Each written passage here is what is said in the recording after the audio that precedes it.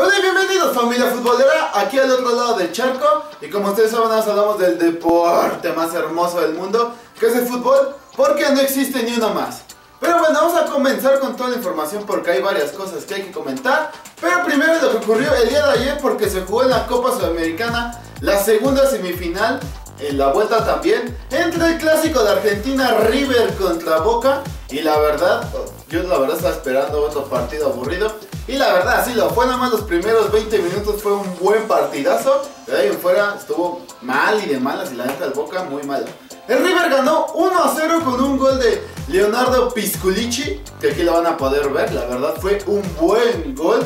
Este, la verdad no pudo hacer nada el portero. Y también hay que comentar que el Boca Juniors a los segundos 15 que acaban de empezar el partido, marcaron un penalti a favor de ellos y lo cobró Manuel Gigliotti, pero el portero lo atajó y la verdad el Boca de ahí se cayó, o sea, 15 segundos, luego de aquí en lo que ponía la pelota y todo eso, dieron los 4 minutos y este y la fallosa de todo mundo no pasó nada, la verdad Boca se acabó desde la ida en la bombonera, la verdad no hizo nada. Aquí ni siquiera salió a buscar el, el partido, Gago se lesionó, lo tuvieron que sacar, la verdad River también estuvo jugando con su equipo titular, ahí armó entre titulares y banca porque pues, en, la, en, la, Liga Argentina pues, está peleando el campeonato y pues, está, tienen que ver, tienen que dosificar esfuerzos. Y la verdad muy bien por River que pasó a la final. También hay que comentar que de parte del Boca ya al final expulsaron al Cata Díaz que de plano le tiró un patadón a Teófilo nada porque estaba haciendo tiempo ahí en la esquina. Estaba cubriendo la pelota, llegó él y ¡paz! Sáquese ya de aquí, ya saben cómo son los argentinos. De repente no aceptan ganar, pero bueno, el River pasó a la siguiente ronda y se va a enfrentar al Atlético Nacional en la final de la Copa Sudamericana. Y ahora vamos a hablar de la Europa League porque el día de hoy se reanudó el juego que se quedó pendiente el día de ayer por las lluvias y porque se inundó y por todo lo que pasó. Porque jugó el Estoril contra el PSV, iban 3-2 en el medio tiempo, nada más se jugó el medio tiempo que faltaba. Y quedaron 3-3 con goles de parte del Estoril de Tose, de Cuca, de Diogo. Y de parte del PSV descontaron Memphis Depay, que la verdad este cuate va que vuela para hacer un buen crack de Luciano y el que le quitó el punto, más bien el que les dio un punto al PSV fue Georgino Naldo, que en el minuto 83 metió el gol y ya el Estoril, la verdad, le pesó mucho. Estaba jugando muy bien el día de ayer, pero pues, ahorita pasa otro día, no trae el mismo ritmo de juego y todo eso. Es como que volvías a empezar y la verdad le afectó mucho al Estoril y el PSV se fue con todo. También hay que comentar que nuestro mexicano Andrés Guardado, que milita en el PSV, jugó todo el partido, lo amonestaron, pero la verdad tuvo un buen rendimiento. Pero bueno, después de esto vamos a ver el grupo E, porque en primer lugar se queda el Dinamo de Moscú con 15 puntos y ya está calificado. El PSV con 8 puntos, que con este puntito que le arrancó, ya también está calificado en segundo lugar. Luego le sigue el Estoril con 4 puntos y hasta abajo el Panathinaikos con un punto, que la verdad esos griegos fueron una sorpresa al haber quedado en último lugar. Y ahora vamos a platicar de lo. De,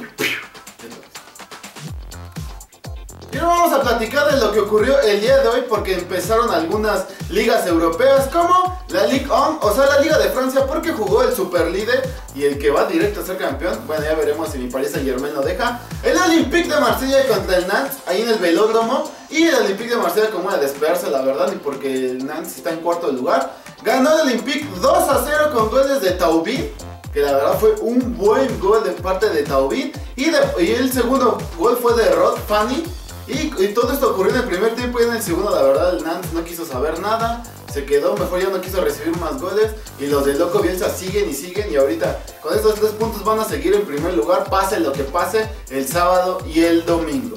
Y bueno, ahora vámonos a otra liga, vámonos a la Super Bundesliga, o sea, la liga alemana, porque se enfrentó el Freiburgo contra el Stuttgart, el sotanero, el que está hasta abajo. Pero de la sorpresa porque ganó 4 a 1 con goles de parte del Freiburgo de Vladimir Darida, que este es lo único bueno que tiene Freiburgo, que mete y mete goles, es lo único bueno. También hay que comentar que de parte del Freiburgo recibió una expulsión Mitrovic, ya por ahí del minuto 80, la verdad no afectó mucho. Y de parte del Stuttgart los goles fueron de Martin Harnik, que metió un doblete, la verdad, muy bien por este delantero, que ya tenía rato que no, que no metía goles. Y los siguientes fueron de Carlos Grueso, que aquí lo van a ver también, fue un buen gol de Carlos Grueso. Y por último de Timo Werner, que fue ya con el, cuarto. Y la verdad el estudio con esos tres puntos sale del sótano nada más sube un, un peldaño, así es que si gana el que está abajo, pues lo va a pasar. Pero la verdad es algo muy bueno, pues el Stuttgart llegó un nuevo entrenador y siempre llegar y ganar, eso te da mucha confianza. Y ahora vámonos a la Liga de las Estrellas, o sea, la Liga Española, porque también se enfrentó Carlos Vela, digo, digo, la Real Sociedad contra el Leche. Y aquí nada más, no puedo creer, o sea, ganó la Real Sociedad 3 a 0, pero con goles de, y lo he dicho una y, otra vez, Cristiano Ronaldo mexicano, así nada más de plano, la verdad la selección le tenía que llorar, porque este cuate es un crack. Carlos Vela metió su hat-trick, la verdad fueron unos golazos, aquí los van a poder ver, los van a poder apreciar y nada más la Real Sociedad es Carlos Vela y Carlos Vela y Carlos Vela porque la verdad no hay nadie más. Se fue a Guerreche y la verdad nos hacía mucho paro. Se fue Yarramendi hace un año también y también hacía mucho paro. Pero no, Carlos Vela está ahí presente. Mois también hizo su debut el día de hoy y también ganó. Pero todo es, todo es así de que dense la vela y que él la resuelva. Vela, vela, vela y más vela porque no hay más. Si quieren hacer algo a la Sociedad, si quieren hacer algo, más la Real Sociedad, todo se lo tienen que dar a Carlitos Vela. Y hoy lo demostró con su hat trick. Para que los que digan, no, es que no mete goles, quién sabe qué. Aquí, tres goles nada más de Carlitos Vela. Y muy bien por la Real Sociedad que sumó tres puntos para ir ascendiendo a ver si llega a puestos europeos. Pero bueno amigos, esto es todo por el día de hoy. Recuerden que mañana van a empezar todas las demás ligas. También ya a empezar la italiana. Y este